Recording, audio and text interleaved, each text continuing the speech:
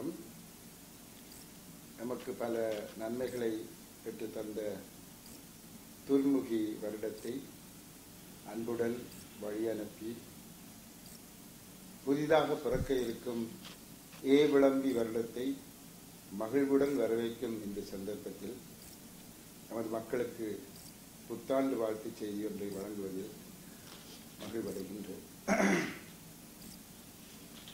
வருடங்கள் பல வந்து போனாலும்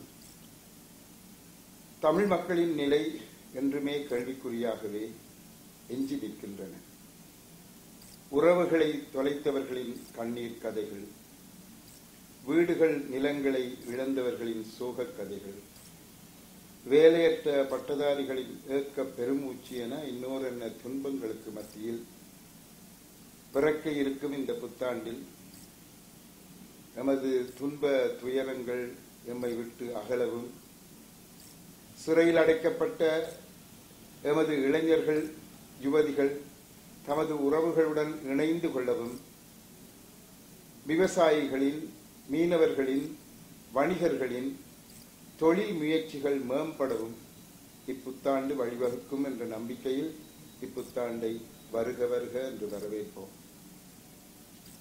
இப்புதிய ஆண்டில் எம்மிடையே காணப்படுகின்ற காழ்ப்புணர்வுகள் விரோதங்கள் அனைத்தும் அகல அரசியல் தலைமைகள் அனைத்தும் ஒன்று சேர்ந்து தமிழ் மக்களுக்கான ஒரு புதிய யுகத்தை படைக்க பாடுபட வேண்டும் என பிரார்த்திக்கின்றேன்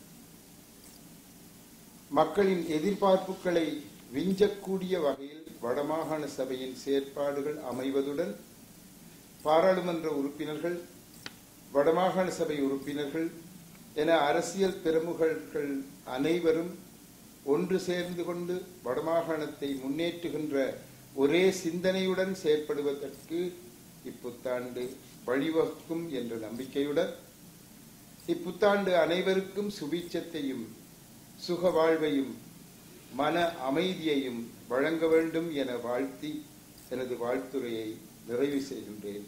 நன்றி வணக்கம்.